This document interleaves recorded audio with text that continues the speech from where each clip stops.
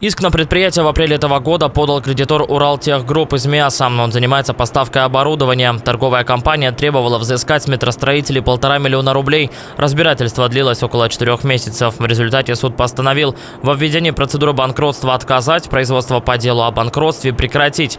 Теперь Челябметрострой обязан только выплатить госпошлину за рассмотрение дела, а это 6 тысяч рублей.